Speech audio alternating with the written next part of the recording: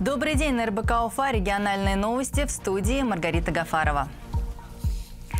Жители Башкортостана стали меньше занимать денег в банках. Средний размер потребительского кредита в регионе снизился на 2,5%. Сейчас он составляет почти 142 тысячи рублей. Это 24 место в стране. Данные опубликовало Национальное бюро кредитных историй. Согласно исследованию, максимальное снижение потребительского кредита за октябрь-ноябрь этого года зафиксировано в Москве, Московской и Тульской областях на 266, 400 и 164 тысячи рублей соответственно соответственно. Соседний Татарстан на 26-й позиции, где средний размер займа сократился до 138 тысяч рублей. Единственным регионом, где сумма потребительского кредита незначительно выросла, оказался Алтайский край. Рост составил 0,3%, достигнув отметки 115 тысяч рублей. По мнению аналитиков, снижение среднего чека займа произошло на фоне сокращения выданных потреб кредитов, начиная с 1 октября, когда был введен показатель долговой нагрузки. Другими словами, банки стали тщательнее оценивать заемщиков и кредитовать только тех, у кого персональный рейтинг находится на должном уровне. При этом эксперты не спешат делать выводы, насколько долгосрочной окажется эта тенденция. В Уфе установят аэродинамическую трубу стоимостью 30 миллионов рублей. Она будет имитировать свободный полет человека в воздушном пространстве. Проект финансирует инвестор из Перми. Построить аэродинамическую трубу в столице Башкортостана планируют в течение трех месяцев.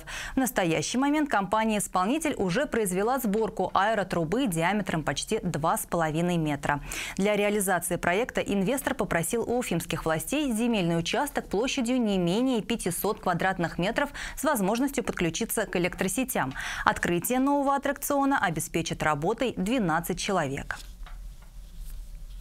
Что касается срока окупаемости проекта, мы наметили его себе очень приблизительно. Это три года. Чем нам интересен этот проект э, с точки зрения реализации именно в Уфе?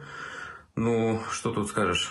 Хороший город, большой, много людей, много спортсменов, что очень важно. Запустить аэродинамическую трубу в Уфе планируют в следующем году. Как считают городские власти, это будет способствовать пропаганде здорового образа жизни, вовлечению населения в аэротрубные и парашютные виды спорта. Уфимцы чаще всего выбирают Австрию для путешествий за границу, а самый востребованный внутренний авиарейс для жителей столицы республики – в Москву. Об этом сообщили эксперты сервиса UFS Travel. При этом средний чек билета Уфа-Москва – один из самых дешевых среди популярных авиамаршрутов внутри страны – 7705 рублей. Столицу Башкортостана часто выбирают и для путешествий жители других регионов. По данным исследования сервиса, в Уфу чаще всего летают в майские праздники.